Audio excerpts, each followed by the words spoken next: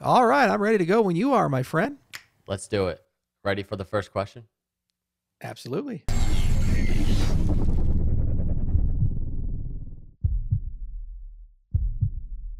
Outside of Cardano, you know, outside of all the deals, the partnerships, crypto, YouTube interviews like this one, the news, the noise, you know, the Charles that's just kind of hanging out in the farm, the ranch. What is your favorite part of life? Like, how is life, number one? But what's your favorite part of life outside crypto?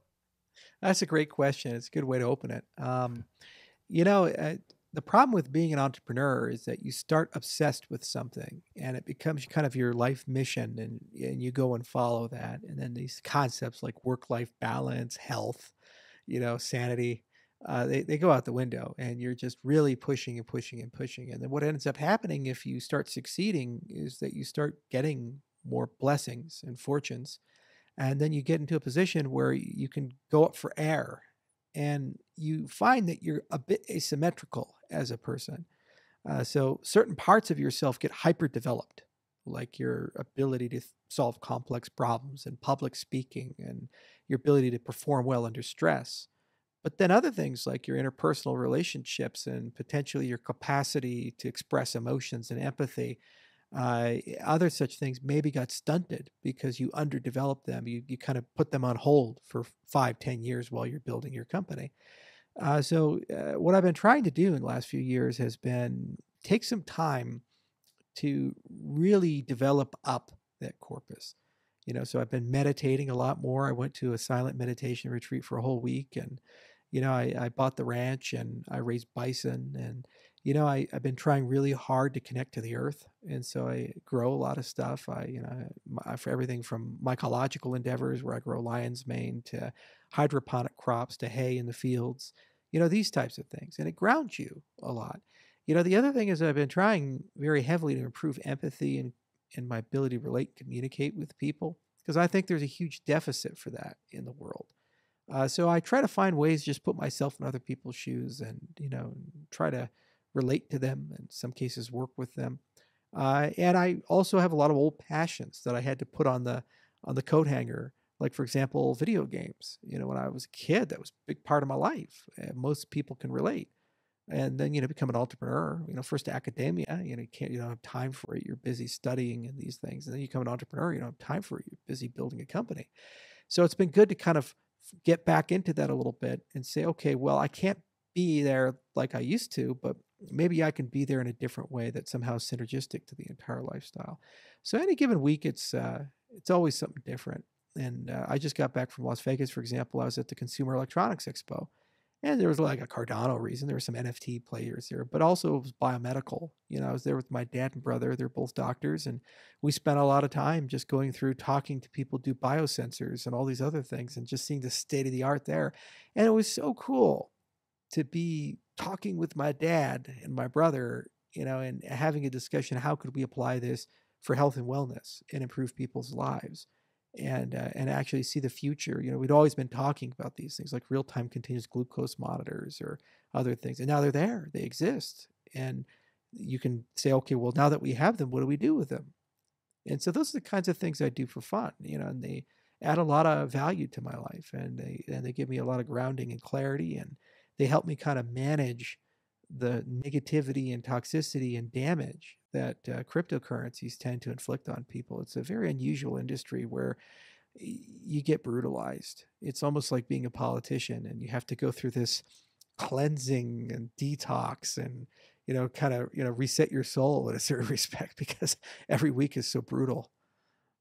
It really it really is. I can definitely relate to that and you were just talking about that re- that retreat, the meditation retreat you went on, and I, you know, I read your blog post on that, and like the the thing that stuck out to me the most was you wrote like this paragraph or two about um, a salt shaker, and like I had a similar experience. I was in a diner like a long time ago, but I totally related to what you were like what you were writing about, and you were trying to kind of describe. I think you know you were you were analyzing the salt shaker, of course, but you were also talking about like the people that are actually behind that little salt shaker, right? And if you look around and there's people, there's human beings around like everything around us.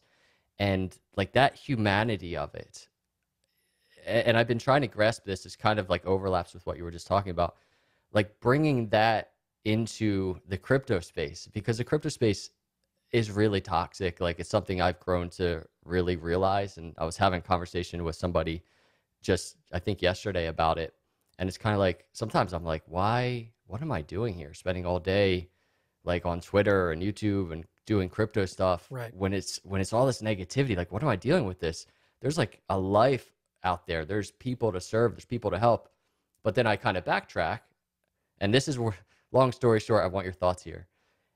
How do you bring what you were talking about that salt shaker the people behind that right? How do you bring that into crypto like that the humanity of it the humanness that is out there how can we do that to bridge the gap Yeah, yeah, it's one I've thought about a lot too. You, you, you know, a lot of people say, "Why are you talking about toxicity? Suck it up, Buttercup." Well, if you're that materialistic and that much of an asshole, I'll sell it to you this way: it hurts your investment. Uh, it, toxicity prevents more people from coming in. Prevents the growth of the ecosystem. Who the hell wants to go to a bar when they walk in the front door? There's a bar fight. You're like, nah, I'm gonna turn around and go somewhere else because I don't I don't want none of this.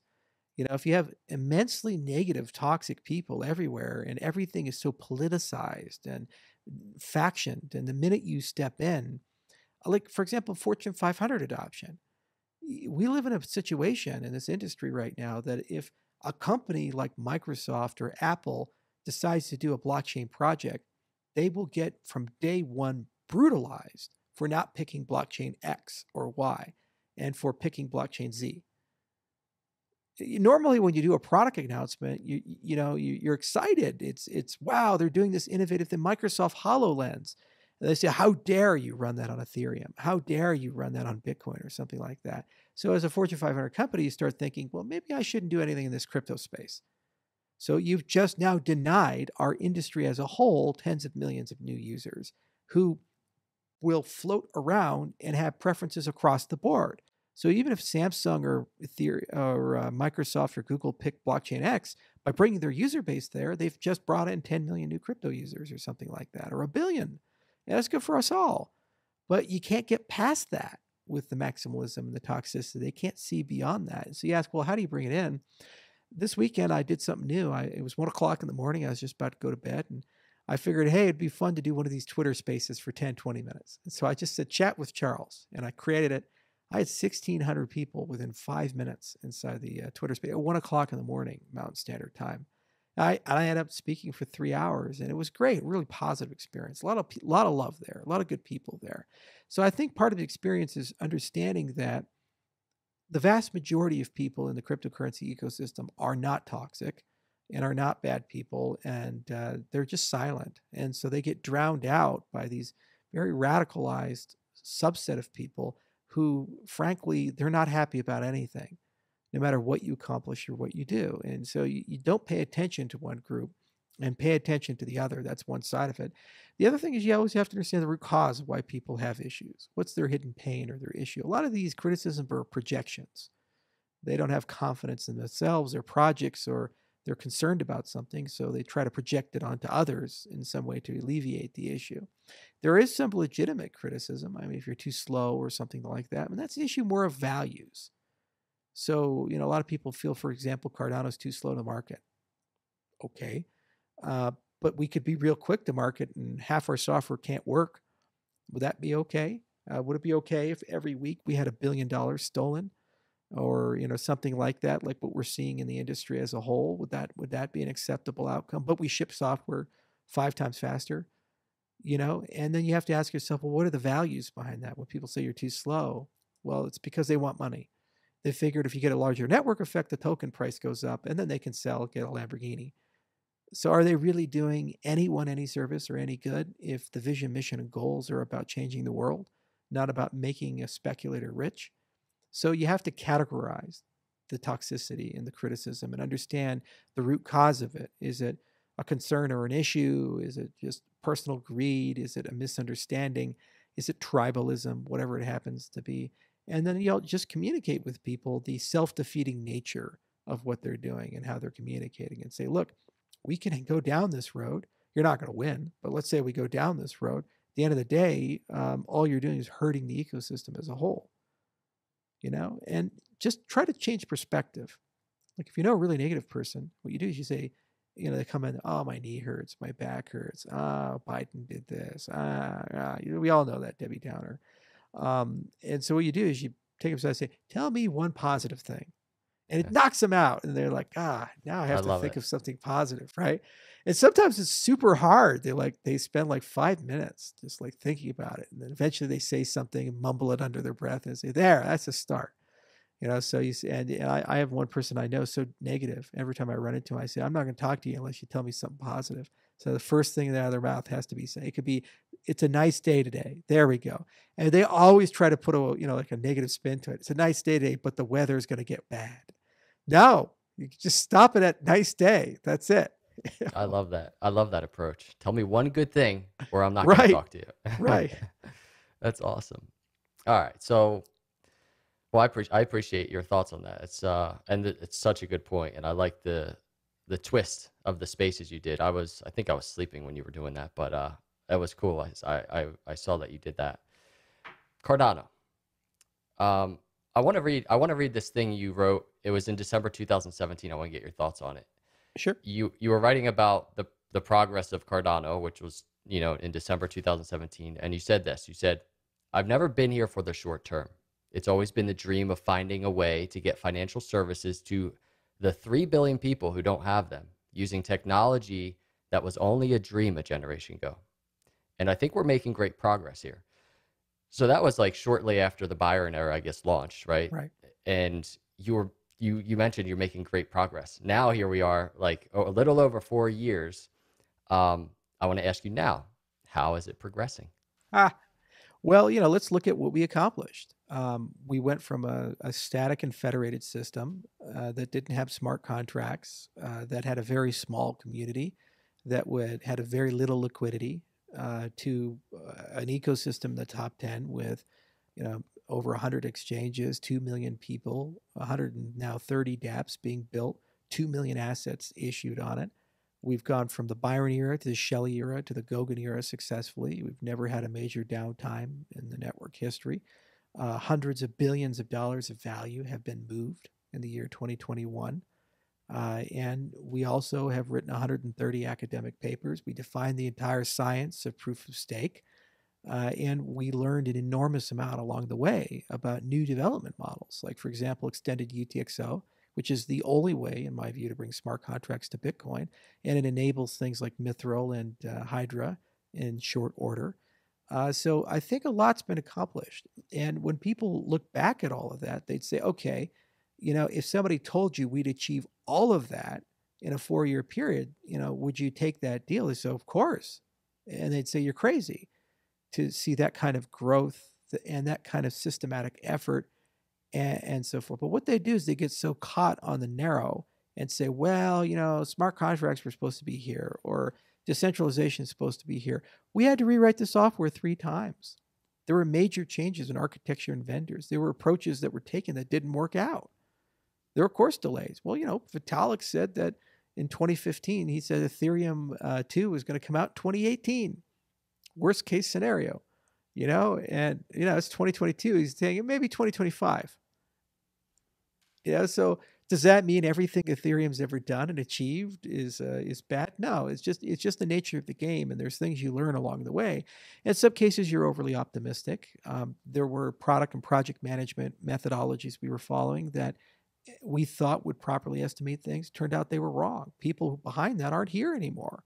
We have completely different ways of running product and project management. We're far more accurate. When we have delays, they're usually in the months or weeks, not in the years in these types of things, which means we're converging. Now, what's nice though is one thing that's never been wavering has been the product market fit, and we've made enormous project progress there. I'll get into that in a second. But then also the, the clarity that the science has brought us. We don't sit around wondering, gosh, how do we scale? You know, gosh, how do we make this secure? Gosh, how do we know this is going to work? No, we already know. We have enormous advantages in our network stack design, enormous advantages in our consensus protocol design. We know the limitations of the system and the robustness of it. So it's not a matter of if, but simply how long will it take to roll out. So when we look at things like pipelining, input endorsers, you have all these people running around, DAG this, DAG that, DAG this, third generation this, super high TPS. Well, input endorsers effectively does that for you. And that was something we came up with in 2016. And we had a follow up paper in 2018, Parallel Chains. Both went through peer review.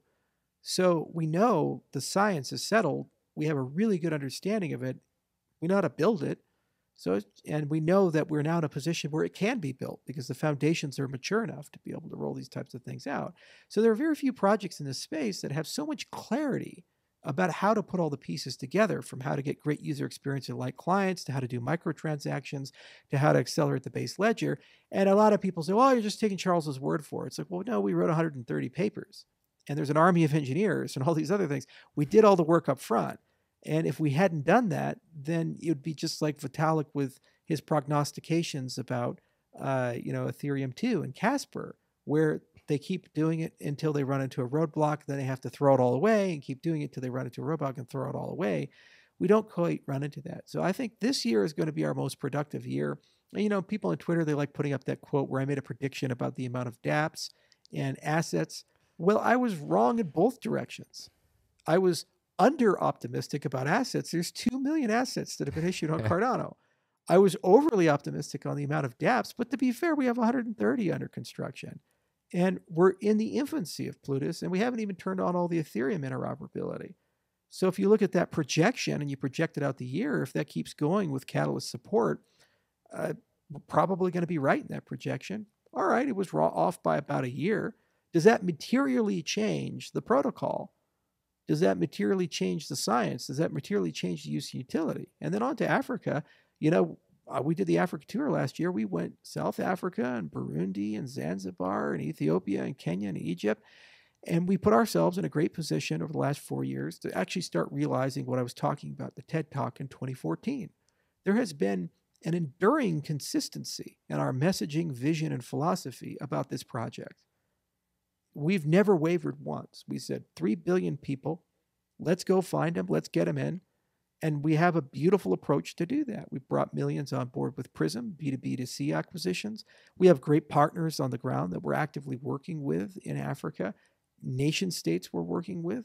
So there's an inevitability that we get a shot at the vision of changing the lives of billions of people as an ecosystem. And we know the technology is fit for purpose because we built it that way everything from the metadata standards to the prism based identity standards to how we approach scale, how we approach participation. The other thing is the people in the ecosystem care about the mission. You know, you think about growth, you have to ask yourself who are you inviting into your house? If you get people in, the only thing they care about is making money, speed, and cost. Then if you go to them and say, hey, let's hyper centralize the system and give Amazon total control, and you'll save 25%, they'll be like, where do we sign up? We love money. So you have to be really careful with how you grow and how you indoctrinate the philosophy of the system, just like Bitcoin was. No one was money motivated in the early days of Bitcoin because there was no money to make. You know, Bitcoin was worthless. There were StarCraft tournaments where your fifth prize, your consolation prize was 25 Bitcoin. Your first prize was $100. I mean, if you, ah, I got these worthless Bitcoin things. What the hell are those, right? But it grew into this Goliath because it was born of principles. And so when you look at your initial population, you have to say, where do they come from? What's your churn rate? What are your growth factors? And one of the things that people cannot deny is the strength of the Cardano community the passion of that community, the philosophy, the philosophical purity of that community, and the fact that most people here just want to do the right thing and they want to change the world. And they're comfortable with the idea that they're not a passive, but rather an active participant there. We have this saying in Cardano grab a shovel, get it done, go out there, plant some trees.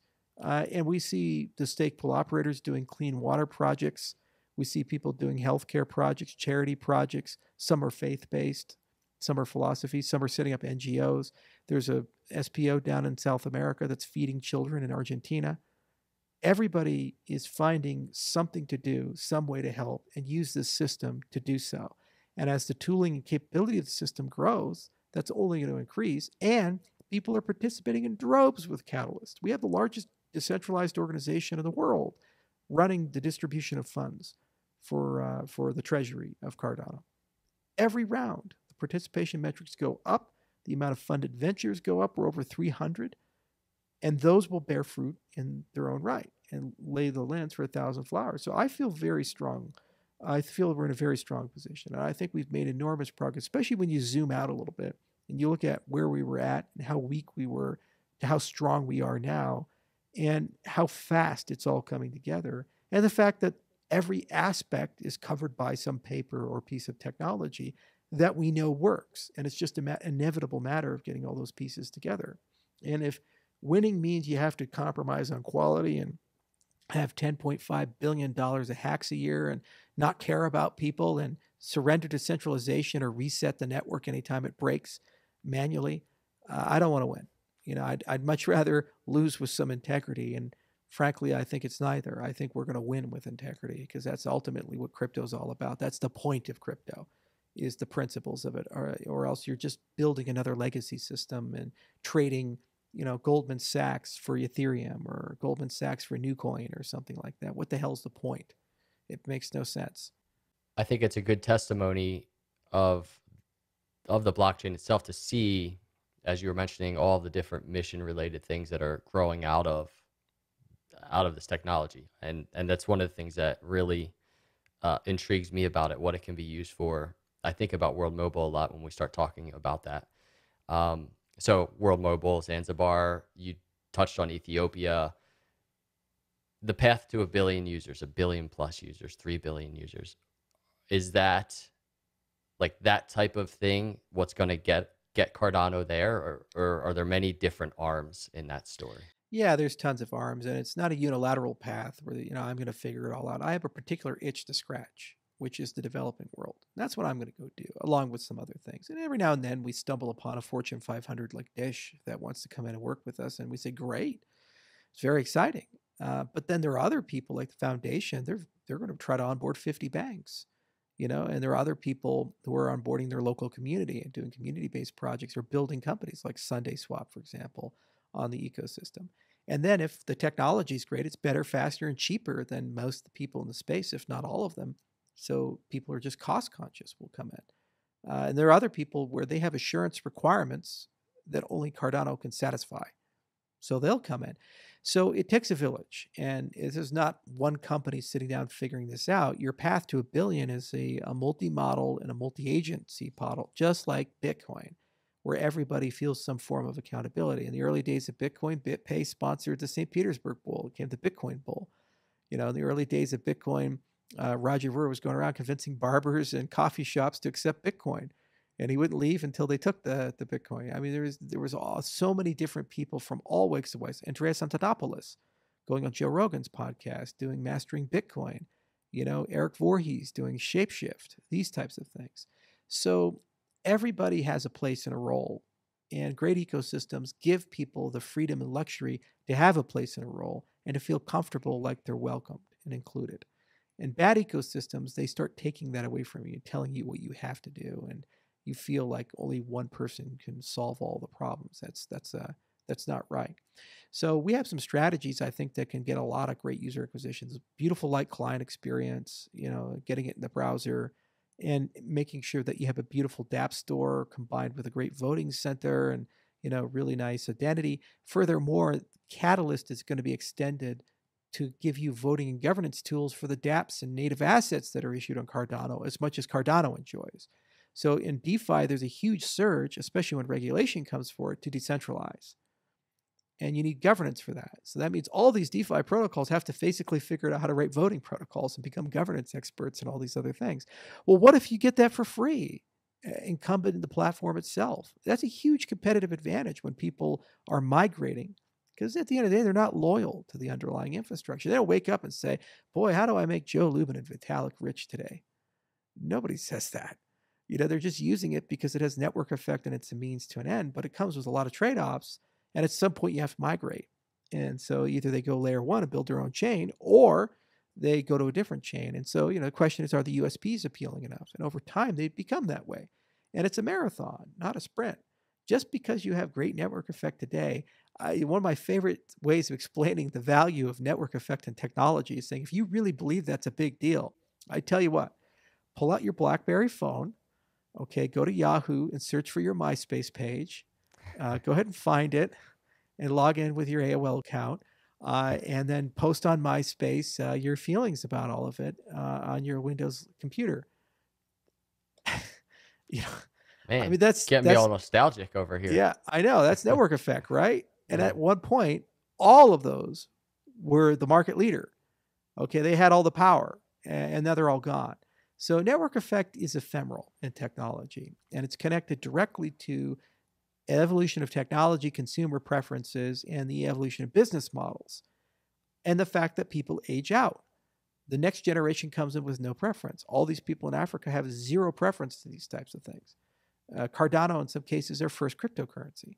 So that's only valuable for a moment, and it gives you the ability to stay alive for that moment. It gives you the luxury of being able to make bets.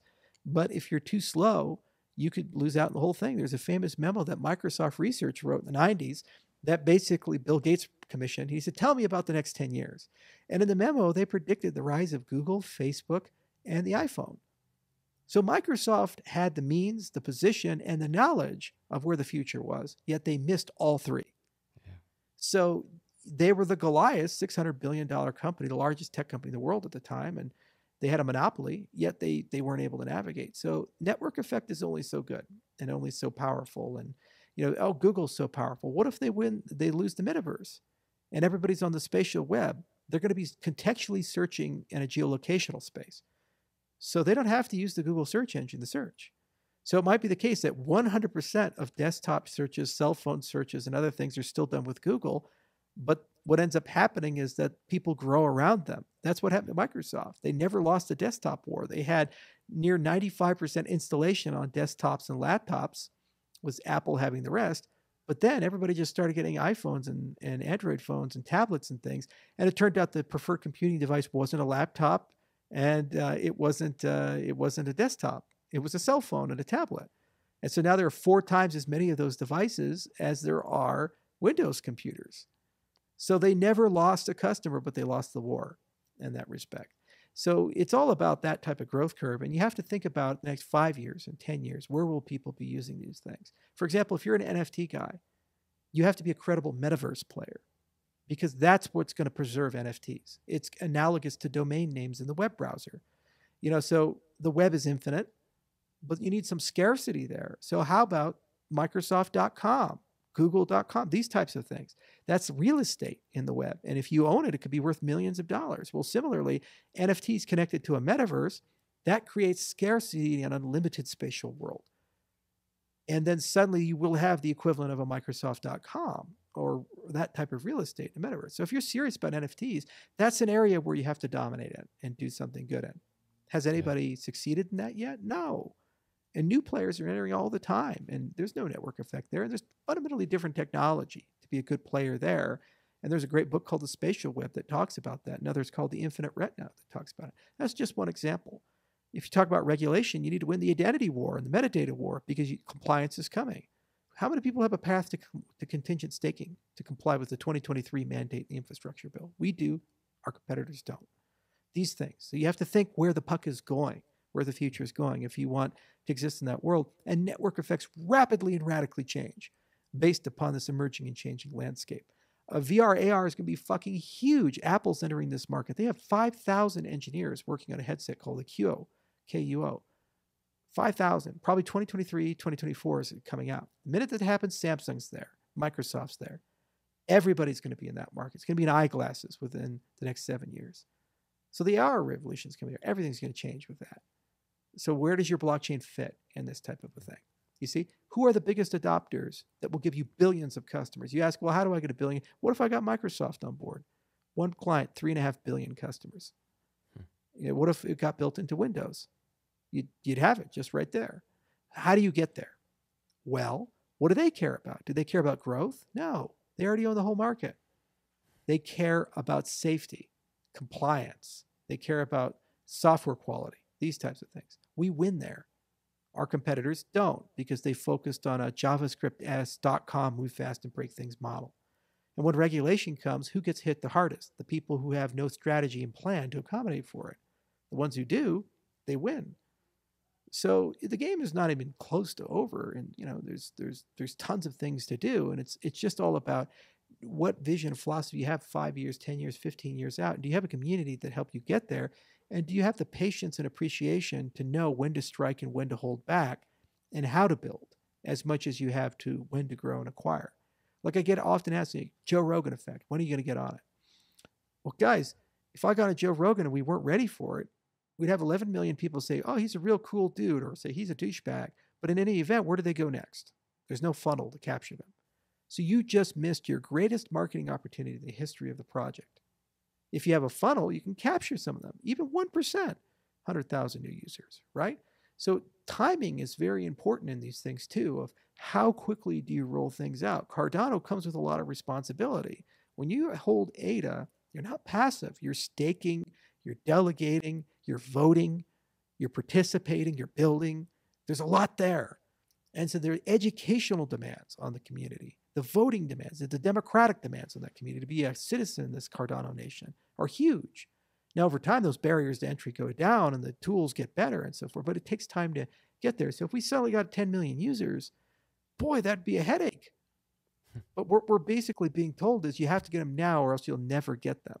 And I say, okay, well, I look at these roadmap competitors, uh, you know, the roadmaps of the competitors. I see nothing there that's capturing the future. I see the same predictable buzzwords again and again. TPS, infinitely scalable, rah, rah, rah, rah, rah. They just say stuff. Yeah. A- and then I see the protocol design, and I know they're going to have to rewrite the protocols like Ethereum has to, which means that the minute they admit that, they're going to go down the same road Ethereum's gone down – only they have less money and less time to do it and, no, and not the same network effect to do it. And also, they don't have any of the engineers or scientists necessary to actually conceive of these protocols. So they're going to have to copy some of our stuff and people like Algorand stuff and so forth that actually thought about the future and have the engineers and the, the scientists. So how am I in a bad position if if that's the case? You know, you can disagree with it, okay, but then you have to honestly tell me it's like well, what is their strategy then? How are they going to get there, and so forth? And they usually don't. They just talk about token price or performance or you know some vanity partnership with some, or they put their logo on a Formula One car, or they put their logo on a stadium or something, or you know subway car. Oh, look how smart we are. We we paid a bunch of money to get some people to look at this, or we're running commercials with Matt Damon. You know, we're we're getting it done. You know, I've never run a commercial with Matt Damon. No commercials yet, right? No. What the funnel you just talked about, right? You know, in re- in relation to going on Joe Rogan and and getting that influx of people. What does that funnel look like? You know, what what do you envision that funnel looking like to be ready? Okay, so there's what's good for me and my company, and then there's also what's good for Cardano. Because if I go on Rogan, I'm not just going to talk about Cardano. I would probably spend more time talking about other stuff than Cardano. Because you know it's an interesting conversation. Talk about hunting and bison and mushrooms and all kinds of. It'll be fun. We'll, we'll break the all-time record. You know, uh, so what you need is you need a clear call to action. That if people are legitimately interested in the vision and philosophy of Cardano, first you need to demonstrate you've actually done something. It's not just aspirational. So we have done a lot, but I'd like to be a little further along. For example, I'd like to have a fully functional stablecoin and peer-to-peer lending marketplace ready to go. So people, when they go, they can pull out their phone, download a beautiful mobile wallet, you know, and then they can actually see right there a way to lend money to someone in Kenya or something like that. I'd like them to be able to create real time an identity and use that in their workflow, this type of stuff. Now, there already are some ways to do this, and they're being used at scale of millions, but they're not user friendly enough that an average Joe Rogan listener would want to do that. So that's an example of a benchmark. Then, you know, the right websites, the right user experience with those. So when they go to cardano.org, they know exactly where to go and they know exactly what route to take and where they can participate from, you know, volunteer, what have you. Better voting experience, these types of things. So a lot of user experience needs to be improved and a lot of accessibility needs to be improved. And also the information needs a little bit more time to get refined and polished and made accessible and so forth.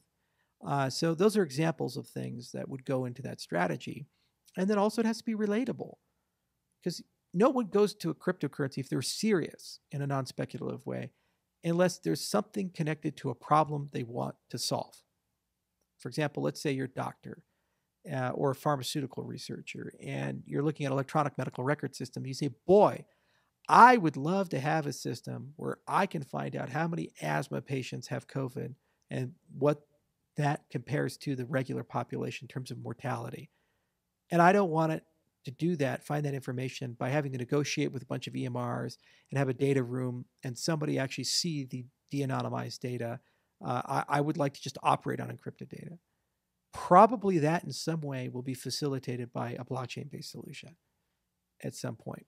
So that's an example of a real life problem. It has enormous commercial value, enormous research value, can't be solved at the moment. Yeah. You know, uh, or you as a consumer, let's say, you know, you go on vacation and, and you have a lovely time in the Masai Mara in Kenya. You're on safari. Elephant charges the, the van, knocks it over. You get crushed. Your legs are broken. You're unconscious. They take you to the closest hospital they can find. Pretty grim story. And you're there, and you're and, and they're trying to figure out your medical history. They don't even know your blood type. And, and how do they get your medical records? Uh, how did that get transmitted from wherever there's in the United States to there in Kenya so they can actually know a little bit about you and hopefully treat you a little bit better? Well, they can't. There's no way to solve that problem right now in modern society, but you can solve that with a blockchain. So stuff like that. That's how you get people interested. You know, R- Rogan, maybe he's not going to get any of this blockchain stuff, but he's a hunter. Every hunter has problems with hunting tax. Every hunter has problems with that whole area. That whole system can be put on a blockchain made a hell of a lot more fair. You, go through that whole example of why it's better. And then once you do, he gets it. He says, oh, wow, that is really cool. Half of America thinks the elections are corrupted because of Trump. Whether you agree with that or not, doesn't matter. The perception of a lack of legitimacy destroys democracy. The solution is not to say those people are bad people and stupid, suck it up, buttercup, uh, any more so than when the other side was saying that Russia stole the election for Trump Uh, to tell them to suck it up. This, you restore legitimacy by adopting new systems that have inclusive accountability. So, why don't you talk about how a voting system would work where you can check your own vote, make sure it's been counted, and it's transnational, meaning that a government can't tamper with it or, or a private company can't tamper with it or something like that. You don't have to trust somebody. You can check yourself and you have assurance for that. Turns out the same problem to make sure you have money on a blockchain is to make sure there's a vote there because votes can be tokens, right?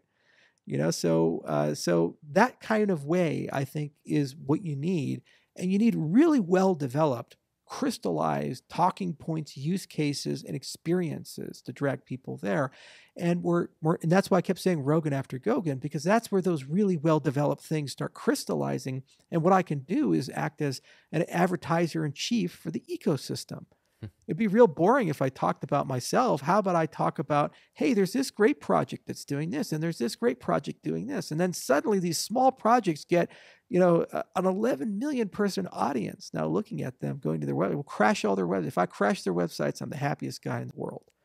and so I, I want to get to that point. So it's not just about our progress and where we think the funnel needs to be. We need to give the ecosystem a little bit of time to mature to a point where they can really showcase the value that they've created and then go do that. And it'll be a great conversation and hopefully get invited back, like with Fridman uh, and these things. And also, it provides a lot of real, enduring, tangible value to the ecosystem. And then people don't look at Cardano as yet another cryptocurrency or speculative instrument. They look at Cardano as a framework for dreams to be built, as a framework to do things a little differently and to restore trust and credibility in institutions and systems that lack them uh, and uh, make the world a better place. And that's kind of a That's kind of a perfect segue to one of the things I wanted to ask you because I'm just really uh, curious of your thoughts. It's something like this, which is, you know, around a month ago or so, Don Huffines, who's running for Texas governor, he tweeted. I think you saw the tweet, and he tweeted about Bitcoin. And I just I retweeted it, and I I, I said something along the lines of, I would love to have him on the show with you to talk about how Cardano could provide infrastructure for different applications, financial and social social applications to be built. And I tweeted, I retweeted that because that that that's where my head goes a lot is, is with things like that, right? So, what kind of things could Cardano do for a state like Texas and other states? Like what what does that world look like? What does that Oh, conversation look like? every domain and aspect that's frustrating, nepotistic, corrupt, inefficient can be innovated. And GovTech is one of our areas of expertise. You know, all that work we do in Africa, it's so amazing that Silicon Valley and all these other guys discount it. We're saying, well, we're beta testing like GovTech in the harshest possible environment. If it works there and at scale, I can undercut all of you guys when we sell it to America. You know that. And it's better. so, you know, don't don't really throw that baby out with the bathwater. There's some real market value here. So let's look at Texas. Okay. Oil uh, so so mineral rights water rights. I'm a rancher. Mineral water rights big deal in the frontier texas included and it gets pretty bad. All of that can be put on a blockchain. Massive efficiency gains. Whole voting system state can put on a blockchain. Absolute fidelity and credibility. No hacking no participation by undocumented immigrants uh, no no participation by dead people criminals these types of things you can every year know everybody eligible to vote of that set who voted, count the votes, and know that uh, you have no waste, fraud, and abuse. Radical transparency of the budget. Every single dollar spent by the state of Texas, you can track and trace. You can see where it went, the metadata behind it, and the audit trail on that. No more lost money. No more Pentagon waking up saying we lost a trillion dollars. We don't know where it went. None of that stuff happens. No more monkey business with any of those things. Okay, so you have radical transparency consent. Uh, for example, signing of contracts, you know, digital contracts, these types of things. You want to register a business? How about we make it a blockchain based registration? And you can uh, file all your stuff there, never have to interface with a government agency. Just a smart contract. Go ahead and pay. Texas can even try to issue its own currency. Monetary policy. If they want to go big, go home. Lone Star State can uh, can divorce itself a bit from U.S. monetary policy if they want to. Uh, they can issue stablecoin, these types of things, incentives backed tokens for carbon reduction, anything they want to do there. Okay. Uh, they can route all of the charity programs and grant programs that they have and require blockchain based auditing. So anybody who receives the money has to dial into a system and support a certain standard. So that same radical transparency can be pushed into the private industry as well. Okay, these are just some uh, licenses and certifications, medical licenses, law licenses, anything licensed in the state. All those credentials can be put on a blockchain, made more uniform, easier to verify. It means as an employer, you never have to call a federal agency or a state agency to verify something. You can just check it in the database and you know if it's there, it's real. Identity theft. You can create state ID with DIDs.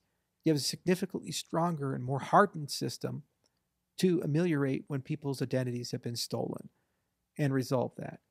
Privacy of data, data privacy, these types of things. Who owns your data?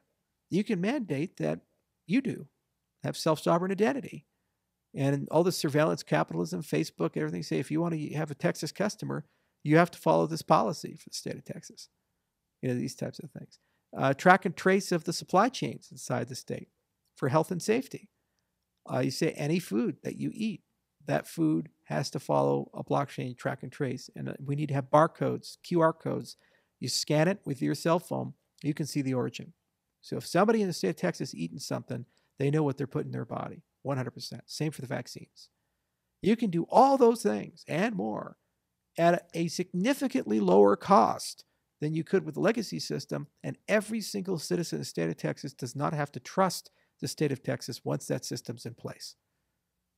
They can verify it themselves, inclusive accountability. So you get free and fair elections, you get safe food, you get strong and free, stable money, you get much better property registration and uh, and uh, zoning and all these other things, and you get a freer, more open society. Furthermore, it's all programmable. Meaning, if an entrepreneur wants to work with the state of Texas, build on the state of Texas's infrastructure, they don't have to go to the state make a deal with them. Just like Apple with the App Store or Android with the App Store. Just build an app. There's an interface, there's an API, and you can deploy in a permissionless way. Better than Apple, better than Android. And then suddenly you're serving the people of Texas and you have access to all those municipal services, you know, and you can get your fire service on board, you can get your police services, your emergency services on board, all these types of things. For example, let's say you care a lot about oversight of the police. It's a big pet project of yours. Well, maybe you make it so that all that body cam footage, it's hashed. and those hashes are put on the blockchain, which means you know if it's been tampered with and sections have been deleted, these types of things. Yeah. State of Texas can't change it once it's said. Little stuff like that, civil asset forfeiture. Create a whole blockchain system just for that and have oversight with it. And if the government gets it wrong, they lose the money and uh, maybe it takes a fine. You can you can even create bonds and bounties. So when the government makes mistakes, uh, it, they actually get fined automatically by the system. Doesn't even go to the courts. So from an oversight viewpoint, you can do all kinds of crazy shit inside the oversight uh, to ensure that the government behaves correctly. And these are the kinds of conversations you can have with the constituencies and say, what do you value? What do you care about? And whatever you value, we can build it. And once we build it, it's going to work the way it was intended. Instead of don't be evil, it can't be evil, it won't fail. It's a lot more honest than any politician. Yeah. Man, just some things off the top of your head, just right there. yeah. Thank we you. We do a lot of GovTech. yeah, I, I, I, I see that. Thank you for the visualization of those solutions. Because I've just been kind of thinking about it ever since that tweet. He we were in touch with him and he's talking to his team about that by the way so that would be i think it would be epic if if we could yeah. somehow set up that conversation because i love that real world stuff and and i i see cardano you know from era to era just you know completing these upgrades i see it kind of just getting ready to do things like this right to provide solutions to to right. places like ethiopia and texas it's already starting to yeah especially the state of wyoming I mean, just look at how much progress has been made there, and we're just getting started. So it'll it'll come, you know, and uh, it's it's all about restoring faith and trust into institutions. Democracies and representative republics they only work when you trust the institutions. If you don't trust them, you have to restore it, and you can do it through investigations and leadership changes and new laws and constitutional amendments. But when that process fails for too long, eventually the only recourse is a civil war uh, and uh, and some new government coming in. And I don't want to go down that road. And so the alternative here is, frankly, just putting a new governance system in place through something that's not quite private and it's not quite public. And, and there's been attempts to do this. Uh, for example, with the Federal Reserve System, it's not quite private, it's not quite public. It's some sort of thing that lives kind of in between the two. You know, it's just it's just there. And the hope was that by doing it that way, it would somehow inoculate it from the politics of society. It failed miserably, but they at least tried. And the thing about blockchain is that it actually has the power to fulfill that dream. And the killer application, kind of like email was to the internet, is monetary policy to blockchain. But by no means is it the only application, just like email is not the only application the internet, just gets the party started. And once you start thinking that way, you go through line item by line item. Which institutions in society have lost trust and legitimacy? And then it's just a question of what do we need to build to restore it and bring everybody along so that we both agree, even if we disagree politically, that the institutions are solid. And if we can't, democracy fails. It can't work. If half of America feels the voting system is broken, they no longer will honor the legitimacy of that system and they'll get angrier and angrier and they'll feel because they can't express themselves through votes they can only express themselves through violence. That's what always happens when you have a, a delegitimization of the system. So going into 2022 you've been talking a lot about this. Scalability and governance is kind of a focus there right? What what needs to happen to succeed there in order for cardano to succeed with those two things big time in 2022. Well, on the scalability side, there are six things uh, that we're working on, and you know they're they're just work, and we're making great progress on them. So you know people can see that publicly. So one, there's a large scale optimization program. Like for example, we just released, released Node 1.3.3, and it cut the sync time in half. And that's coming to Daedalus here in a little bit, but it's already deployed with the SPOs and the exchanges. Uh, so that's an example just optimization, where now that we're moving from just a correctness focus to a performance focus, you're going to see lots of optimizations of libraries and business processes and things that traditionally take a while. And then that can be reflected by larger block size and all kinds of things. Okay, so that's one part of the agenda. Second part is pipelining. And the basic idea there is that normally in a blockchain system, you have a lot of work, no work, a lot of work, no work, a lot of work, no work. And that's the block production. So while the time between the block is being produced, the network's not really doing a lot. It's at a stall state. With pipelining, you amortize that cost over that no work period. So you get more work done. Okay. The follow up is introducing a DAG like idea, so input endorser. So it's not quite a DAG, but it, conceptually, you can think of it this way where between the blocks, you can do a lot of micro blocks, and those micro blocks basically aggregate up and serialize, and they allow you to basically process as many transactions as the network will allow. So you're no longer constrained by block size, you're constrained by bandwidth and network availability. So as you optimize network, you get even more throughput. And that's those things alone tend to push you into the 500 to 1000 TPS range. And that's not really even fair because what is a TPS? You could have 1000 inputs, 1000 outputs potentially. And that from an Ethereum point would be a 1000 transactions. It's one transaction on Cardano. You see? So there's a lot of that. Then there's a kind of a meta thing that sits on top of that of smart contract optimization, just better utilization of the extended UTXO model and doing a lot more things off chain. Then you have Mithril and Hydra, and that's the kind of number four and number five parts. And, and Mithril is about great light client experience. So basically, you can do parallel validation of the epochs. So you get really fast sync for full nodes. So Daedalus gets a lot faster. And uh, the other side is that your light client has full node security. So whether you're using a browser-based client or a cell phone, you get the same security level as if you're using Daedalus, which means the preferred mode will be light clients for most people. Uh, and that's just great. Then Hydra is all about high TPS off chain. So that's microtransactions to start. And then after that, state. So it's smart contracts off chain. So just in time, as you move beyond that window of 500,000, you have Hydra as a place to do all those things on. And then finally, sidechains. And that's where you basically have different computing models and you can layer those in and make them interoperable with the main chain model.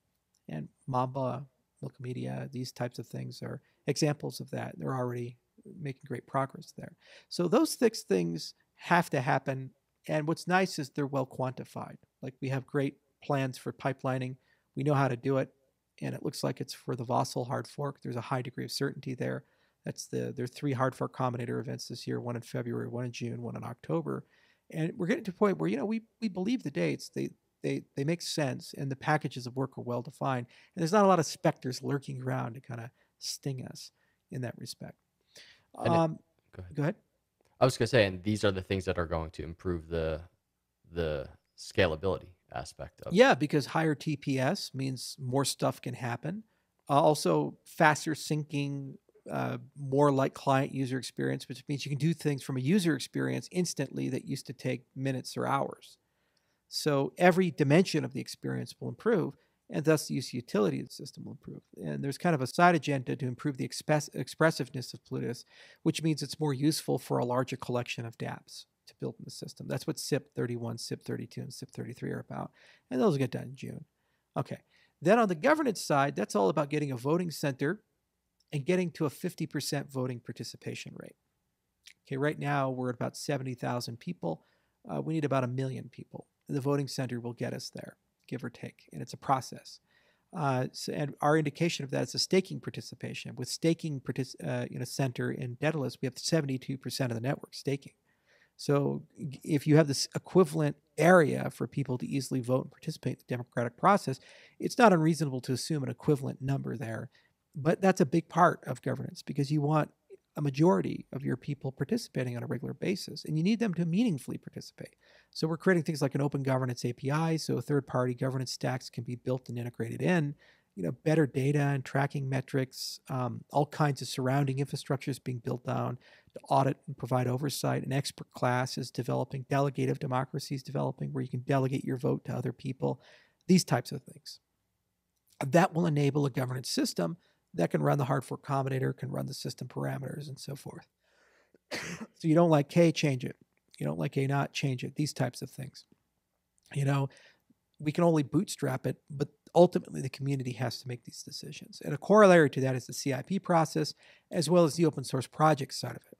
So there's a humongous effort underway right now. Very expensive, a lot of people working on it to transition the custodial entities to a full open source project, kind of like what the Linux Foundation does with the Linux kernel, where 100 companies and 800 developers work full time at managing and building up the Linux kernel. It's one of the largest, most successful open source projects in the world and most useful. It's not rocket science, just work. So build the institutions, you know, give them uh, a lot of running room. Like for example, I met with the Cardano DeFi Alliance. Get them involved. These types of things, and then you have hundreds of entities come together, and they can build everything up the whole stack from the from the science to the formalization to the protocol design to the reference clients to the interfaces to the commercialization to the marketing to the verticals all those things every part of the stack is basically doing that and that that's a huge part of the work package this year and we're working on it foundations working on it dcSpark's working on it Emurgo's working on it uh, dozens of dApp development companies are working on it in their own way and it's part of catalyst as well uh, so uh, that's what has to happen for the government side it's uh, it, it's less about research and it's more about social conventions and structures and getting people used to ideas and compelling behaviors and these types of things to participate. And every indication we have is we're moving in the right direction. If you look at the seven funding rounds of Catalyst, participation's been walking up very rapidly. And we have a phenomenal group of people, over 70,000, that regularly participate from the community. So it makes it the largest decentralized organization in the world and you know just harnessing that and building down with that it means it'll keep growing and it'll become you know so amazing so uh, those are the two sides if for scalability and for governance there's a lot more like interoperability and uh, you know some economics things that need to happen and you know the side chains there's lots to do there and so forth it's, it's a lot you know there's hundreds of people at least in my organization who wake up every day and their full-time job is nothing but this and there's 15 development companies outside of my organization that a large chunk of their revenue is working on Cardano and building Cardano that are completely independent of IO. So it's a humongous open source project, which is usually ignored by the industry. We're number one for GitHub commits, and their only answer is, "Well, you can game GitHub commits." Oh yeah, go fuck yourself. you know? I just don't get it. I don't yeah. get. I don't get the scrutiny. I don't get why it's so ignored. Especially when other guys like their networks just completely collapsed. They have to kick it to turn it back on. And, and you know, us, it's just like, well, you know, you release smart contracts, but you know, this thing wasn't ready, so fail. Why? Why is why is Card why does Cardano get that? Well, because we have no VC backing. Yeah, all these other guys are VC coins. a large part of the distribution went to a small group of holders who also transitively own the media in crypto media. So you always look at who makes money and who doesn't make money. There was a very fair distribution in Japan with Cardano, and it, it didn't launch like any of these other things. It had a very pure launch. So nobody really got rich in Silicon Valley. There was very little, actually, no American participation, uh, no European participation. So all the European VCs, all the American VCs, you know, they they missed it. And then a lot of these guys were listening to the Ethereum, Ethereum maxis. And so the Ethereum people were saying Cardano is not just a bad project, it's a criminal project. It's a scam. It's a Ponzi scheme. So they just said, "Whoa, I, I can't touch that." No, no. Charles Hoskinson is a pathologically lying sociopath, and he's Bernie Madoff. You know, no, no, no. I'm not. I don't want anything to do with that. So they missed the boat. And since they missed the boat, there's a confirmation bias where they focus on mostly what they can with negative, uh, and, and you know, who gives a fuck? It's a, I'm not here to take care of, you know, a small group of people in Silicon Valley, or you know, some people think they're big in the space space is a lot bigger than those people. Uh, you know, we're here to change the world. You know, we're here to, you know, get Africa on board. We're here to actually build real use and utility. And every meaningful metric, we're killing it. From social media mentions to user adoption growth, uh, wallet installations, uh, you know, everything you could track has had exponential growth over the last two years. Um, you know, just give you a sense of transaction volume. We had more transactions the last 90 days than the entire history of the project combined. And you're telling me we're not we're a ghost chain and there's no use in utilities. Come on now, uh, you know you got, you got some land you want to sell me too. it, it's so the way you just explained it, it really does go back to historically what people originally were saying about Cardano, the project. Right. You, it's like these these seeds of lies that got planted, and maybe that's even still the scrutiny is just growing on those those toxic trees that kind of formed all the way back then years ago. Yeah. Yeah, I mean, the, the bigger the lie, the more you have to do to defend it, and it's it's gotten to a point where it's pretty absurd and obscene. And they write books and these other things. It's like, okay. and the only way to combat it, how do you combat it? Just build.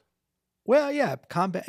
Just build and ignore it. You know. Also, just call them out on the absurdity. You know, like I guess there was this one book said I said I jumped out of an Apache. You don't even jump out of Apaches. Come on, get your helicopters. You jump out of Blackhawks, not Apaches. I was just like think through the stupidity uh, of these types of things, and and just the kind of bizarre perspective on life you have to have to just write that down wholesale in these types of things. Uh, Yeah. but they do because they want to believe it, uh, or you know, it's just convenient to write it down, and that's the politics of personal destruction. And we failed as a project if Cardano can be dismantled by an attack on me. So it's an indication of our level of decentralization and strength as a community, or the fact that I could be completely tarred and feathered and just be burnt to the ground, but Cardano itself survives as a project. It's a good thing. So, in many ways, the attacks are actually a good indication of the level of resilience of Cardano. The fact that we've been able to grow and succeed despite the fact that there's been a lot of obstacles and barriers and these types of things, uh, that really tells you uh, that we're on the right track. And by the way, Bitcoin had the same growth curve. I was around in the early days of Bitcoin and it was brutal. Whatever incoming I get, whatever incoming Cardano gets, let me assure you, the incoming that Bitcoin had, you entered every conversation with a normal person of, oh yeah, Bitcoin, isn't that that thing for drugs and money laundering? That's where you started in every single conversation if they'd heard of it. First, they'd never heard of it. And if they'd heard of it, the only thing they've heard is drugs and money laundering and child pornography. Silk Road. That was their frame of reference for Bitcoin. Yet now it's $2 trillion ecosystem. It's huge, right? You know, Bitcoin has become a major thing. Nation states have adopted it. So that criticism, the proclamations of death, the, and it's still attacked. There was an article uh, in December um, from the FT where they said Bitcoin is the biggest Ponzi scheme in human history. It's just it's like How is that possible? They're still I know. like. I like what corporate overlord do you work for that is losing because of Bitcoin? You know, so it, it makes you stronger at the end of the day. And and what you don't do is you don't pay attention to it. And what you do do is you try to say, okay, what do we need to achieve to achieve our goals? And you have to have singular focus. I know what we need to do to get Africa on board, and you know, we have a collection of technologies that are maturing. We know what we need to do to scale. We know what we need to do to have a great light client experience. We know what we need to do to build a great governance system. We know what we need to do to build a great open source project. We know what we need to do to make a great developer experience and so forth. So just do it. Get it done. Don't talk about it. Do it. Paul Halmos was a famous mathematician, and he had this great saying. He was a Hungarian mathematician. He said, The key to writing a good proof is tell them what you're going to do, do it, and tell them what you did. So we're in the do it phase. We're doing it. We're building it. You know, and then after we build it, we'll tell them what we did. You know, haters will be haters. You know, they'll be poor. So building it, right? And especially this year, it sounds like a lot of optimization as well. What do you see the end of 2022 like, especially for scalability and, and governance? Those two things that we were just talking about. Do you do you Yeah. see a lot of progress being done? Do you see I, I think everything will get done that I outlined the side chains, the pipelining, the input endorsers, the library optimization, Hydra and Mithril. Now, there's degrees and flavors, like there'll be more Hydra stuff to do, but at least you'll be able to use Hydra for something like microtransactions. Mithril will be probably completely finished because it's a finite scope of work. And we had to bring on some sophisticated contractors for it, like Galois, but they're getting it done.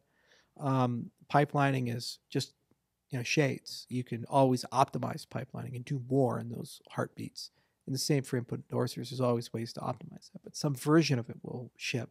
And at that point, I think we'll be in an exceedingly strong position to match what we see with Solana and these other platforms, uh, but have the added benefit of being actually decentralized and uh, and having real theory and strong foundations behind it, and uh, also the extensibility of the protocol, like what we wrote in Ouroboros Chronos or Leios or uh, what we were writing in uh, Omega, uh, these other protocol flavors.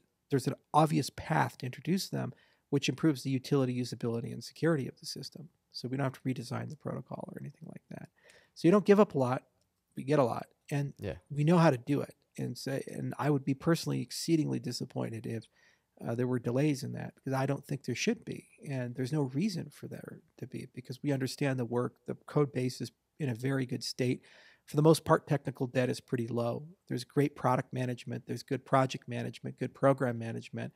QA teams know what to do. We have a good release cycle with February, June, and October, you know, and we have a great test net that's running, and it's uh, it, everything seems to be coming together quite well there. Um, for governance, that's a little harder because I can't compel somebody. I can't pull you out of your seat and say, go vote. I can tell you to do it. I can have it come on a podcast like this and say, like, you should do that. We must. I can you know do my best Kennedy impersonation and say, that was pretty good because it's hard. you know, I can do that, but it, you know, I can't force you to do it. I don't have the uh, voting mandate or something like that. So you build it, and then you see who shows up, and you just see where the numbers are, and you you go with what you got you know, and that's what we do with U.S. elections. Less than half of the American people voted in the last presidential election. Still have a president. So, you know, allow voting, and it's the ADA holder's decision whether to participate or not. And it, you do education and great experiences, and you build these tools out, and you just see where the cards fall. So, we know what we need to do to build a great bureaucracy to execute long term an open source project that is Cardano and how one would go about funding that bureaucracy, kind of like how America funds itself. So we have a kind of an idea about that. And, you know, next six months is about putting that idea together and getting it done. It's a lot harder to, to actually get meaningful participation because even if you get 50% vote, look at the US voting system. Well, I voted for him because I like his hair. I voted for him because his last name is strong, you know well, you know, we haven't had a guy under six foot two as president in a while, so I I, I wanted to vote for the short guy. You know, it, meanwhile, somebody's like, I uh, I spent a lot of time reading all those books on Medicare. I read 26 books on how the healthcare system works, and I carefully thought about foreign policy. I went to the the, the, the, the Woodrow Wilson Foreign Policy School over at Princeton, and I got a PhD in it. And I feel very comfortable to have opine on North African strategy and the and our strategy in the Northern Triangle with El Salvador and Honduras. And uh, your vote counts exactly the same as the yeah. guy who vote. You know, so there's this there's this concept of rational ignorance that comes into play. So it's an incentives problem participation as much as it is an access problem and a usability problem of what incentives do people have to participate in the system. So you do your best to create incentives, and when you get them right, it's magic. And when you get them wrong, you have low participation. So there's some experiments and bets you do, and you see what happens with this uh, type of thing. And oh, you know, if we get it right, it'll be magical. Even if we get it wrong, there's still already seventy thousand people. That's a hell of a lot better than Ethereum or Bitcoin or any of these other e- ecosystems that purport to be decentralized. For the most part, there's only a dozen or two people that uh, that actually make decisions. It's the two pizza rule. If you can feed all your decision makers with two pizzas, you're probably you're probably doing decentralization wrong. Yeah, so true. It you wrote about I was reading an article you wrote it was in 2015 about how to destroy or save or something along those lines the Bitcoin Foundation. You were talking about governance. Yeah. Is all the way back then, I mean like 7 years ago, the ideas going on in your head did it kind of stem from what you were learning the problems that bitcoin had? Like is it do, do your ideas of governance go all the way back there? Yeah i mean just look at the block size debate. Good people like mike hearn and, roger ver they got pushed out you know and they're demonized and, and back then they were heroes. I grew up with these guys you know. Mike hearn was in regular contact with satoshi he was the first person to work on the Java Bitcoin client. There's emails back and forth between Mike Hearn and Satoshi. Mike himself forwarded those emails to me. Uh, and so that just gives you a sense of the legacy and pedigree. And he was a Google engineer, very competent guy, very brilliant guy. He was one of the first people to talk about smart contracts outside of, you know, uh, Szabo and the rest of the gangs. Left. Gavin Andresen left.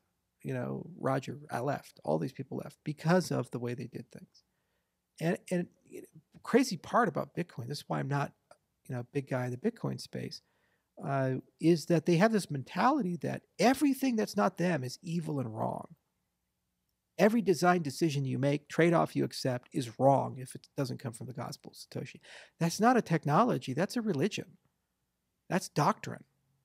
These types of things. And, you know, the Bitcoin Foundation was so frustrating because there were a lot of people who were there when I was there who were just there to help. And they just legitimately wanted to start organizing stuff so that Bitcoin could actually have some notion of a governance layer. And then you had these anarchists come in and they, they basically said, Oh, how dare you try to co opt and corrupt and take over and self appoint? We're going to burn you down. Okay. And they said, Well, if we're not trying to do this, you guys have to understand that it's going to become more and more difficult to evolve the protocol. And then you're going to miss a lot of stuff. And all that stuff you miss, you don't get. You don't get smart contracts. You don't get this and this and this. And then these maxis come by. Well, we got Lightning. Eh, not really.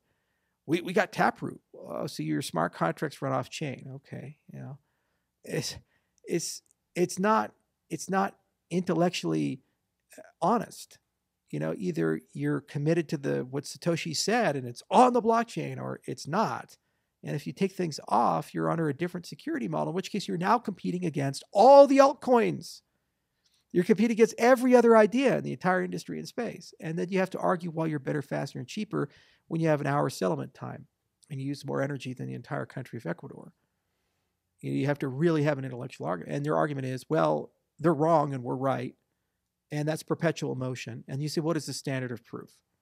You know, for example, the proof of stake, proof of work. We didn't in 2015 show up and say proof of stake is the end all be all. We didn't know. We were honest about that. So we wrote first GKL. And we said, this is what a blockchain is. Then we said, it doesn't work or not. So we tried to write an impossibility theorem to prove proof of stake doesn't work. And It turned out it does. And we said, wow, okay. And that started a six year research agenda. Now it's entering its seventh year to build out an entire corpus of logic.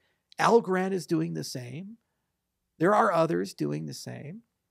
And you have thousands of scientists around the world, thousands of engineers around the world pursuing these ends. And according to Bitcoin, every single one of them is wrong.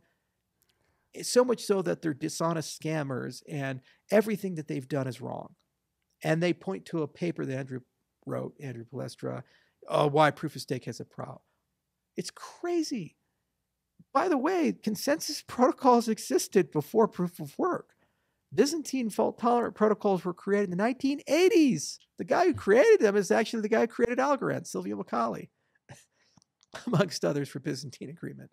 Uh, so, so yeah, consensus, distributed consensus is like an old topic of computer science. There are more than one way to reach consensus in a Byzantine fault tolerant way in a distributed system. What they're doing is saying the only way is the way we have decided is the way, and that's that. And we were seeing that even in 2015 with the with the foundation, and later on with the big block debate, and all the things that happened subsequently. And it's gotten so toxic and bizarre that they even cannibalize each other. You know, uh, the flavor of the week. I wouldn't be surprised to see Max Keiser be thrown over the bus at some point. These other things, you know, no one is holy enough and pure enough inside that uh, in that ecosystem. So I sure as hell learned a lot, and I learned that you have to start with principles of what are we actually trying to accomplish here? What are we actually trying to do? The single most important principle to me is decentralization. The second most important principle to me is inclusive accountability. And at times they're at odds with each other. So decentralization is an easy way of thinking about it is it's like a game of Jenga. You remove bricks. Does the tower still stay up? How many of those bricks can you remove from the tower before the tower collapses? Pretty easy. Even a child can understand that. If you have a truly decentralized system, you can remove lots of bricks and the, and the tower is still there. If you have a hyper centralized system, you pull one brick out, everything falls over. Look at the centralization of financial assets in 2008. Remove one brick, Lehman Brothers, whole thing falls over. Not exactly a decentralized financial system led to the rise of Bitcoin. You look at other things, like, for example, how resilient uh, you know, uh, U.S. military is. You can destroy a military base. You can wipe out an entire platoon of soldiers. You can do all kinds of things. It's like a swarm. It always finds a way to, to come around because it's built for resiliency and decentralization in a certain respect. They have the ability to fight wars in multiple theaters. And so it's a very different kind of organization than the organization that was the financial industry. Okay. Uh, and the second is inclusive accountability your ability to verify things. The magic of Bitcoin is that when someone sends you a Bitcoin, you don't trust them. You can check it against your copy of the blockchain and you know that that's real. It hasn't been double spent and the coins exist. inclusive accountability. Now, the problem is that as the system gets bigger, that gets harder. What happens when you go from a mm, gigabyte to a terabyte to a petabyte to a exabyte to a yottabyte? You climb the chain. Your ability to verify goes down. This is why Mithril is so important for Cardano because it preserves the principle of inclusive accountability even if you don't have a full copy of the blockchain. Any activity you see, you can use those certificates to check them, and you know that they're accurate, and you don't have to trust anybody. And this is why Ouroboros is so important, because as the value of the token goes up, your K factor grows, your level of decentralization in the system grows, the level of resilience in the system grows. That's simple, you see. And the meta properties governance that's wrapped around it. That's the third component is change. Everything changes. That's the only constant change. Okay, so how does your system evolve and grow? Because if it doesn't, you're Yahoo on the Blackberry looking at your MySpace page. You have to have the ability to stay new and relevant and reinvent yourself again and again. And the problem is, the more decentralized you get, that works against your change management. A lot of these people talk about the blockchain trilemma. My blockchain trilemma is decentralization, inclusive accountability, and governance and change. That's the one I care about because everything else is just technology and protocol design. Who cares about that? What I care about is those because they're trade offs. The more decentralized you get, the harder it is to verify everything, the harder it is to change things. The less decentralized you are, the easier it is to verify things, uh, and potentially the easier it is to change things, but the more control a central actor has over the system. You see? So you have to have these trade offs. And every time you have great science, what you're doing is moving your trade off window. You get more for less. You get more benefit, less trade offs. So we wrote 130 papers because we moved the entire trade off window of decentralization, inclusive accountability, and governance. It took time, it took effort. That was the point. It wasn't mental masturbation where we're like, yeah, more citations. No, that wasn't the point of this. The point of this was that saying we weren't happy with the trade off profile that Bitcoin and Ethereum gave the space. And we said, look, at the end of the day, you're going to have to compromise as you gain users. If you go from a million to a billion, you're going to get hyper centralized in order to accommodate them.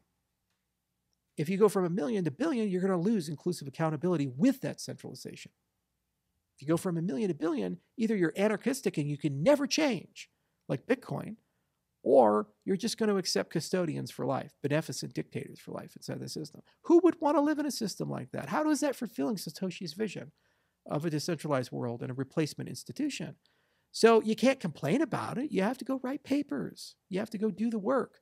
And you have to say what is possible and what is impossible. There's a very famous theorem in computer science called the FLP impossibility theorem. And it doesn't tell you what you can do, it tells you what you can't do in an asynchronous system. So it's not just about saying what capabilities should we have, it's also about saying what will science let you do? What will protocol design let you do? Arrow's theorem in voting systems is another example of that. It's an impossibility theorem about the robustness of voting systems. So you have all these different things and you have to sort it out, and it's frustrating. You take a step forward, sometimes you get two steps back. A paper gets rejected. Sometimes people prove you're wrong. And you have to have the intellectual honesty and integrity to admit that. Along the way, we've had hundreds of false starts. Why it took so damn long to get Shelley and Goguen out? I wasn't sitting there being like, yeah, let's just take some holidays. God, man, we were working so fucking hard. Seven days a week sometimes. We had some engineers that didn't take a vacation for four and a half months straight. They missed birthdays and anniversaries and funerals. They kept working every single day, and we had to backfill enormous things. It was the most difficult decision of my career back in 2018 when we said we have to rewrite the core of Cardano. Because I'm sitting here thinking to myself, I lose two years of work. How do I make it up? How do we how do we speed it up so that we can not feel it? And we tried everything. We even had competing clients with Jormungandr, uh, the Rust client, which we turned into Catalyst and built it in parallel with the system. Every opportunity we could find to speed up development, we did. In some cases, at enormous expense. We're $100 million over budget over the last six years. But get it done one way or the other. It has to get done because it's the mission, it's the progress, these types of things. And you know, going back to your point about criticism, it is frustrating at times because you see how disheartening it is to the engineers and to the scientists who put their life and soul into this. They're not writing papers because, you know, oh, well, they pay me some money to do it. Who gives a shit? They're invested in this emotionally. They're invested in this career wise. Their name, brand, and reputation is connected to this. Some people, the twilight of their career, meaning this is the last major project they're ever going to work on before they retire. And they've now committed six years of their life to this endeavor. How many things, honestly, for your listeners, have you spent six years on? You could be a doctor. You could get a PhD.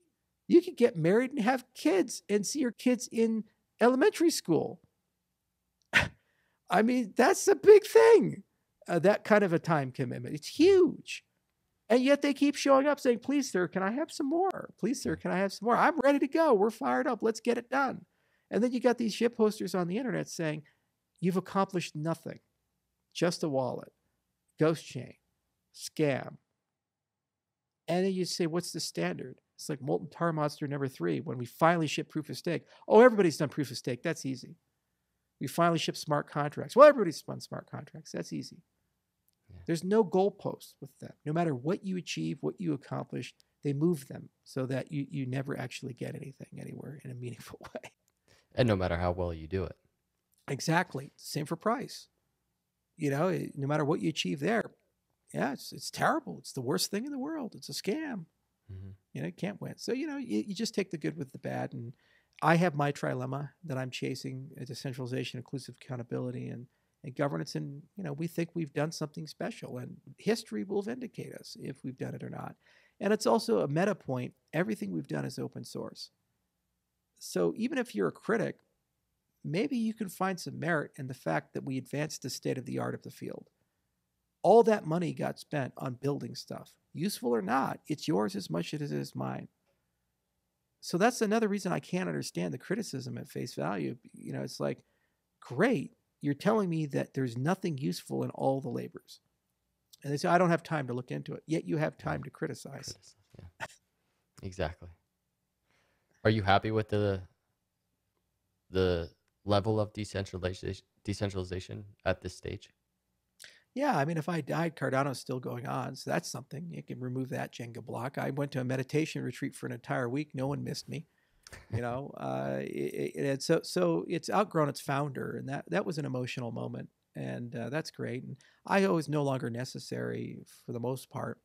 You know, we're we have a finite set of work we'd like to see done to make it competitive, and we have a mission as a company. We really want to get this uh, RealFi in Africa done.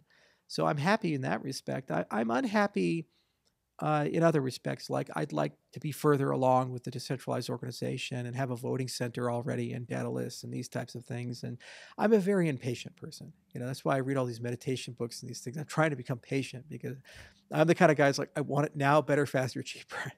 Always. You are interesting. Yeah. That Every day you know and, and i understand the peer review process and the academic process but i'm always the guy in the room who's like you know maybe maybe maybe we could ship like next week you know maybe, maybe, maybe we can do this you know maybe maybe we can ship a day off you know i'm always the guy who's like pushing them into the be deeply uncomfortable and they're like no it has to be this way it's like ah, right, fine you know and people ask you for deadlines i saw some people commenting on when you tweeted out i was going to be here yeah. uh, well you know we have them now you know all major changes there are three of them February, June, October. It's just a question of what goes in. Uh, and then, you know, there's known life cycles on all of our software. We're on time based releases with most of the things, and Daedalus and the Node and this other stuff. You know, and there's sometimes delays here and there. Features get pushed from one release to another release. Uh, but for the most part, it's uh, an open source project in that respect. You know, and so it's out of my hands. And I, um, I, I in some cases get sidelined. Um, there's things I like, like I liked CIP 007, the current benefit pledge. It wasn't my call to include it or not. That made me sad, you know. so I, I'd like K to be a thousand right now, you know. There's a bureaucracy behind that, and I don't control that. And so I just said, hey, come on, let's get it done. It's like, ah, oh, we'll get around to it, you know. So there are some things that frustrate me that are not fast enough. I'm always impatient, and uh, I'd always want more, you know. The other thing is that I would really like uh, for more positive press to come out about Cardano. And I think that has to do with the fact that we don't have a great social media game yet. You know, we need to improve that. And once you have a good social media game, then you know naturally the uh, debate changes a little bit, and there's latency behind it. There's a lot of people in the Ethereum ecosystem that still don't even believe we have decentralization. They still don't even believe staking is there, much less smart contracts. Yeah. You know, and that one transaction per block thing is still spreading. I had a friend at an Ethereum developer meetup, and he mentioned Cardano. I was like, guys, you can't build anything on Cardano. You only get one transaction a block. It's crazy. It's like, Where do you even begin? Where do you I, even start? I Where do you even know, start? I know, So, it's it's crazy. so exposure on a social media aspect. uh, I, I wanted to ask you. It was probably one of the last things I'll, I'll ask you. You were recently talking about the viral virality of Cardano, and you know, I, I've never really been one to think that Cardano needs marketing. Like I, I wouldn't just straight out say that. But what does that look like to you? Well, it needs product marketing. So, for example, our network stack is the most sophisticated and best network stack in the entire industry for all proof of stake protocols. Why? Well, no one really can answer that outside of a small handful of people that worked on the network stack. And they can talk about the multiplexing and they can talk about these miniature protocol ideas and how they can be all with state machines and how we can simulate things that other people can't.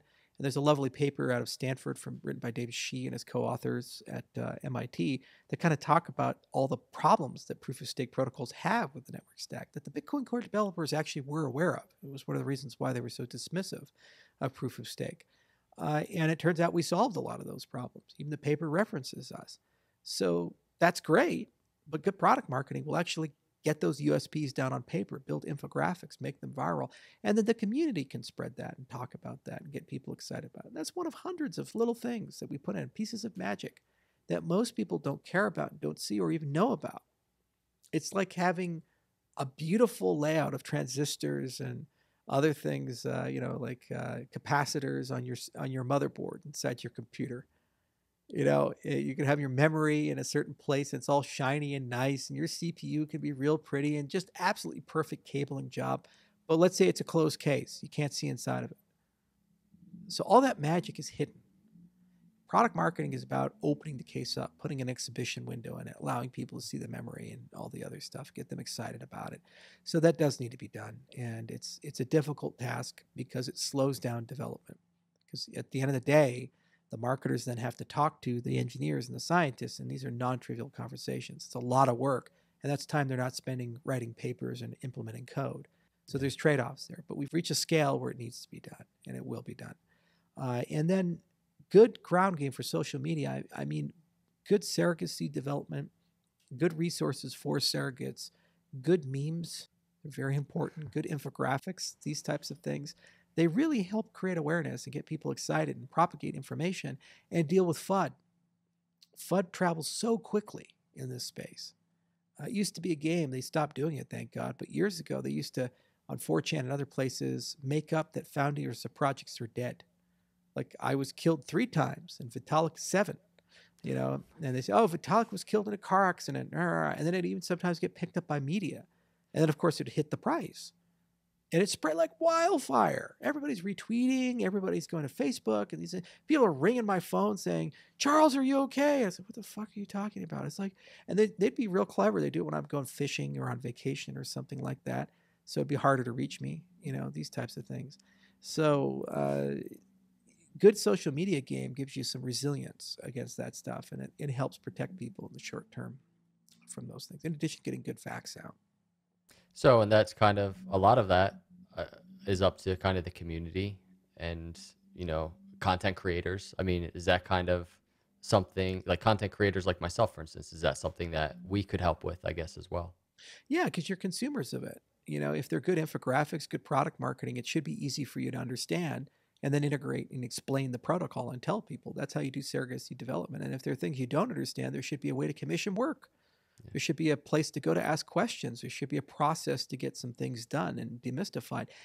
You have to understand there are different consumers for different artifacts. We wrote the 130 papers for scientists. So when you look at them, they got crazy math in them. You know, there's weird ass proofs. There's like strange Greek symbols. And you're like, holy shit, I haven't seen this since the fraternity days. You know, stuff is crazy in there. It's not meant for normal people, and that's fine. Okay, because it, the point is to communicate scientific knowledge to scientists and have them be able to speak in that domain specific language. Just like laws are not necessarily written for normal people to read, they're written for lawyers to read and, and interpret. And just like, you know, if you're a physicist, your physics papers aren't written for mainstream people to read, like oh, quantum chromodynamics. The fuck is that? You know, it's it's crazy stuff. So there needs to be somebody who translates that arcane work and says, well, what is this really about? What's the value of that? And then people like yourself would then consume the translations. It's yeah. not reasonable to assume that a podcaster is going to go read the Ouroboros papers, understand them, and understand why they're special and unique and meaningful.